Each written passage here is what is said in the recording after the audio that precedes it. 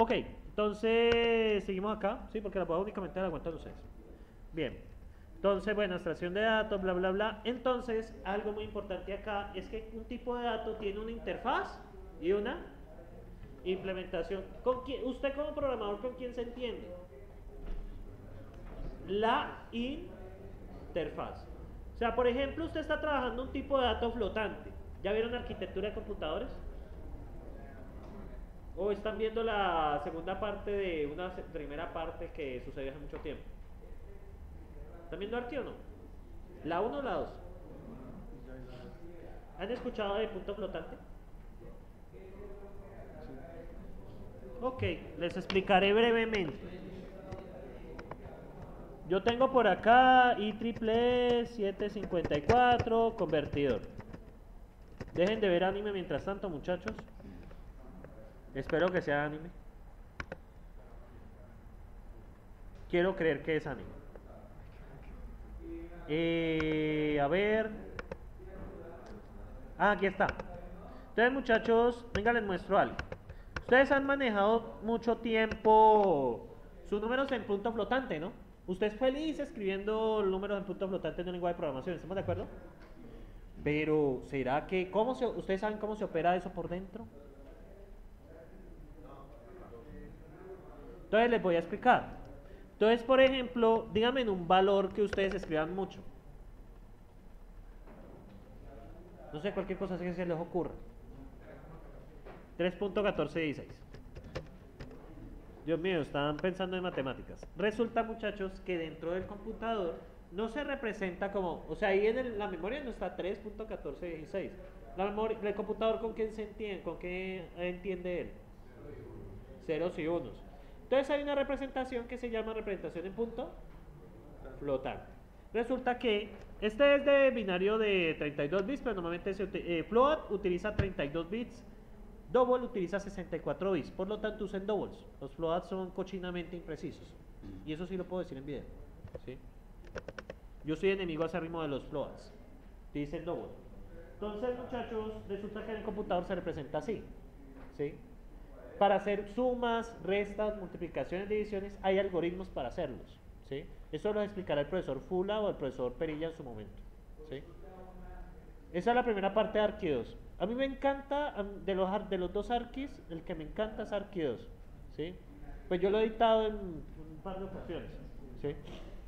Y yo tengo, pues yo también soy electrónico, entonces, pues digamos que tengo ese lado malvado en mi corazón. Entonces, eh, ¿qué pasa muchachos? Internamente, por ejemplo, en el parcial 1 de Arqui, pues uno les pide al muchacho, vea, transforme esta decimal a representación y triple de 754. Luego súmele esto y luego multiplíquelo por esto y ya, ahí está el parcial. ¿sí? Muy bastante trabajo. Eso es como el 20%, la verdad. O sea, toca pasarlo a binario con punto fijo. Y después de binario de punto fijo, toca correr la coma y hacer el cálculo con el exponente y la mantisa. ¿sí? Pero eso lo verán en su video momento. Ahora, para sumar dos números hay que mirar si las mantizas son iguales, o sea, si están igual de en la misma base. Si es la misma base los puedes sumar directamente, si no, tienes que normalizar. Y multiplicar es divertido porque es sumar las, las, bases, las bases y multiplicar las... Entonces, y luego la carrera, correcto. Sí, ustedes ya acuerdan de eso perfectamente. Pero imagínense, es un proceso. Uno como programador, ustedes tienen que poner a implementar eso. Todo ese poco de operaciones cuando manejan, por eso muchachos, cuando manejen números decimales, sientan algo, tengan algo de sentimiento por su PC que está haciendo trabajo adicional. ¿sí?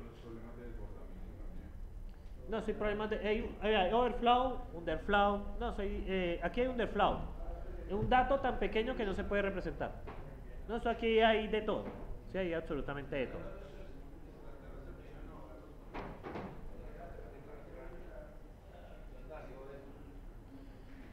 Mira que, pues mira que yo he leído mucho sobre esto. Yo también he tenido ese tipo de preguntas. ¿Y saben de dónde salió la mayor parte de las comunidades que tenemos en la vida diaria? ¿De dónde creen? Bueno, esa es una teoría, pero yo tengo otra de momento. ¿Saben qué fue lo que originó todo este avance? La guerra. Primera guerra mundial y sobre todo la segunda. La segunda fue el auge de las computadoras. Muchachos, eh, suena feo, pero si no hubieran sucedido esas dos guerras, probablemente no tendríamos esta tecnología. Estaríamos como en el siglo XIX y con la letrina. ¿Te imaginas cómo estarían esos baños? Y decirle a la gente, apunte bien el hueco, ¿cierto? Y eso, ¿ustedes se imaginan donde alguien no apuntara bien al hueco? Eso no lo lava nadie. O que usted se caiga al hueco. Entonces, sí, muchachos, eh, suena feo, pero eh, este tema de la, este, la representación es toda la teoría. de hecho, parte de, un curso muy bonito que se llama complejidad de optimización.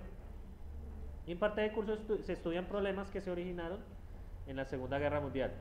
¿Van a ver ese curso el próximo semestre? ¿O ya lo vieron? ¿Cómo? Ah, bueno, yo conozco al profesor que lo va a dictar. Sí. Entonces, no, ese curso para mí, ese curso muchachos es para divertirse. Espero que ustedes lo vean así. En fin, muchachos, ¿qué pasa con eso? Ustedes, ¿con qué se entienden?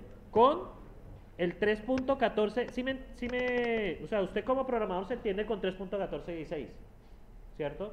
Y se entiende con el operador de suma, el operador de multiplicación, el operador de división. Bueno, lo que puedas hacer con eso.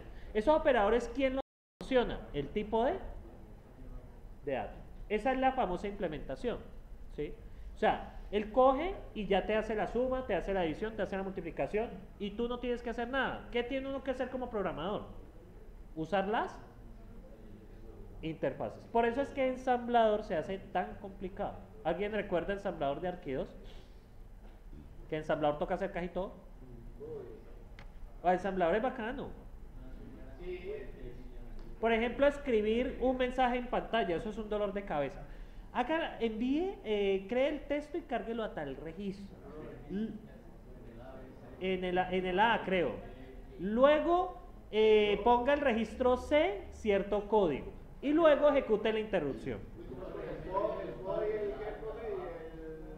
¿El POP?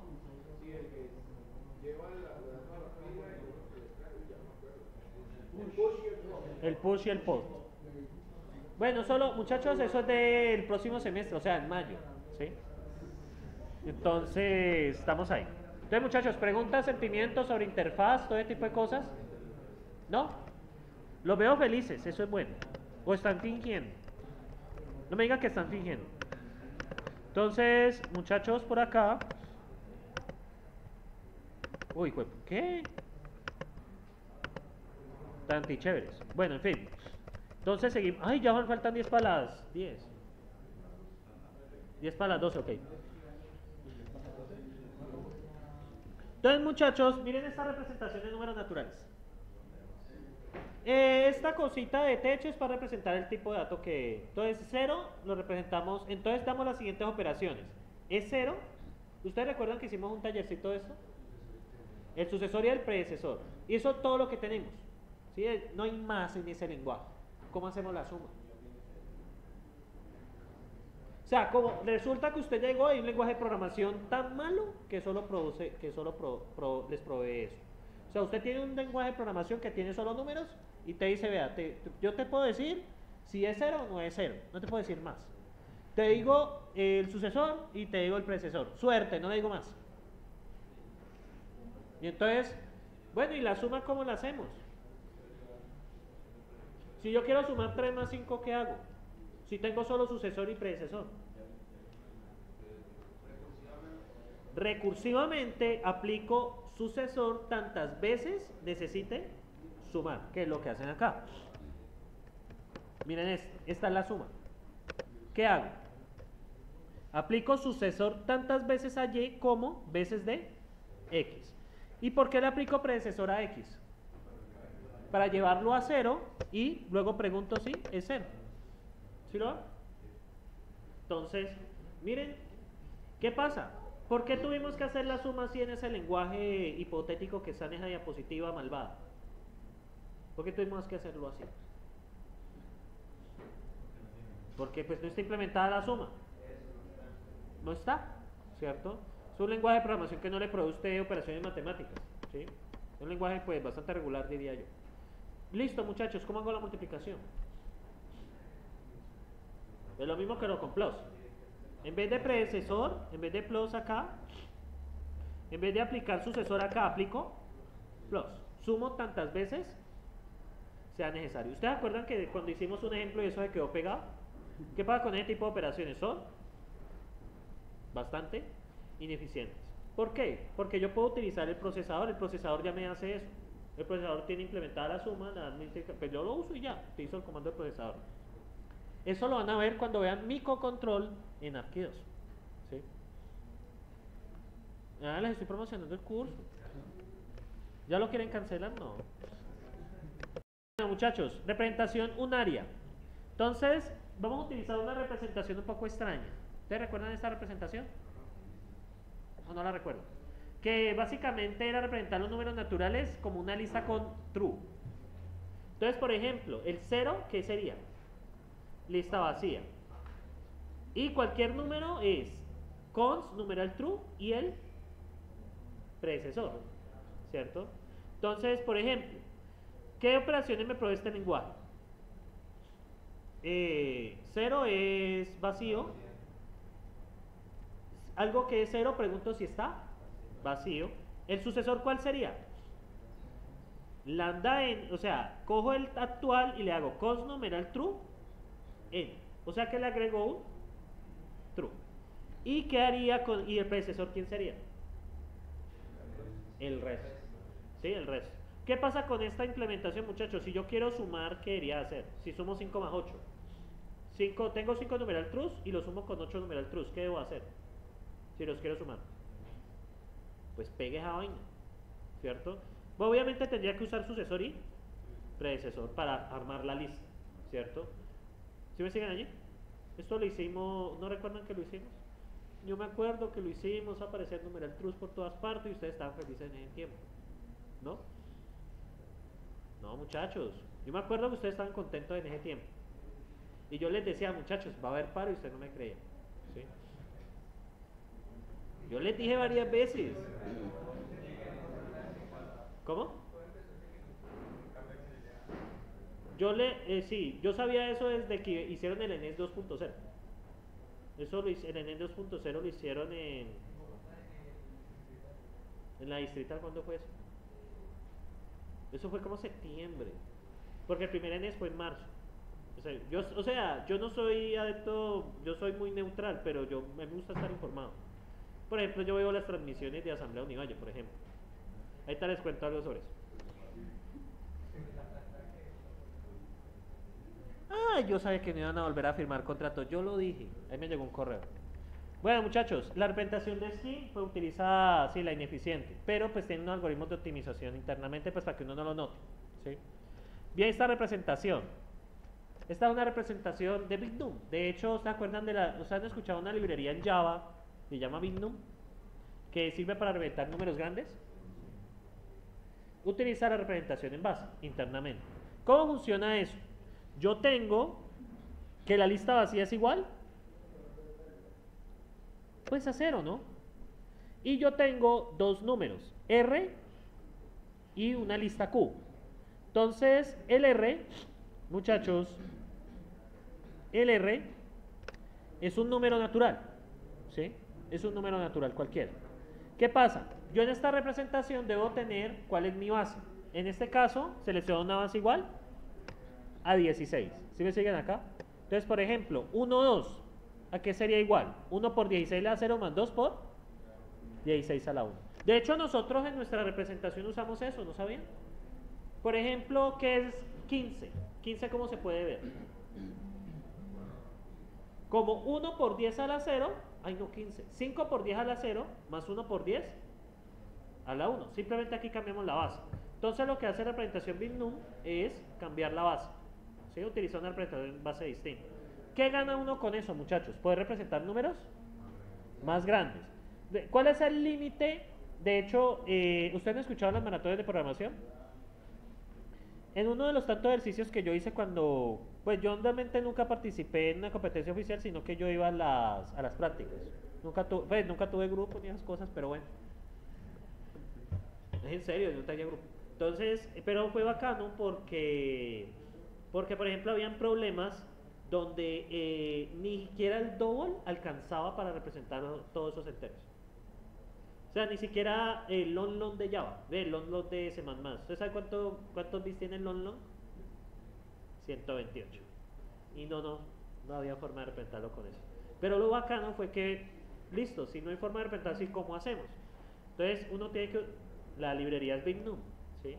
Uno puede representar números muy grandes, pero ¿cuál es el costo? Que esto, en términos de implementación, es mucho más, eh, ¿cómo explicárselos? Esa requiere más tiempo de cómputo, pero uno puede representar números muy grandes, ¿sí? Por ejemplo, si, si ustedes tienen una moneda muy devaluada, ¿cierto? Y por ejemplo una empanada cueste 100 millones de pesos. Ustedes imaginen cuánto va a valer una casa. Entonces, pues, ya adivinen dónde están utilizando ese tipo de, representación. De hecho, eh, de hecho, la COBOL, ¿ustedes han escuchado el COBOL? COBOL es el que utilizan en el core de los bancos, la mayoría de bancos. Todavía. Lo que pasa es que el lenguaje es extremadamente seguro. Es un lenguaje con más de 50 años de experiencia. Entonces yo, muchas veces cuando uno va a tomar decisiones de, implementación de sistemas, los lenguajes más seguros son los que tienen más más, más años. ¿Yo por qué voy a implementar algo en el sistema, no, en el lenguaje nuevo de Google? ¿Cómo se llama? No hay otro nuevo. Sí, me acuerdo. ¿sí? Go, pero Go murió y ahorita es otro. Entonces, si Go está muerto. ¿Alguien puede decir si Go está muerto? Creo que está muerto. Ahorita es uno nuevo. No me acuerdo el nombre. Entonces, uno, si ustedes van a, por ejemplo, es una de las consideraciones que se hace en seguridad. Entonces, ustedes, por ejemplo, tienen un proyecto y ustedes necesitan implementar algo que maneje datos muy delicados. Entonces, muchas veces, por inexperiencia, mucha gente dice, no, implementémoslo en la última versión de este lenguaje.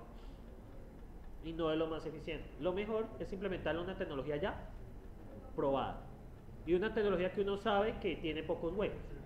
Y COBOL es uno de los lenguajes más seguros. Ahora, hablando de COBOL, pues COBOL tiene estas implementaciones también. Porque pues en los sistemas financieros a veces se manejan cifras muy elevadas se utiliza esta representación en base. ¿sí? Eso es lo que tiene la librería, pues, la que conozco Bitnum de Java. Cuando la utilicé fue interesante. Lo único es que en el tiempo de cómputo se nota. Porque el problema, yo me acuerdo, eh, quedó en el límite, 3 segundos. O sea, quedó en el, o sea, que era bastante pesado. En fin. Pero pues algún día les gusta la maratón de programación, muchachos. Bacano, uno aprende mucho.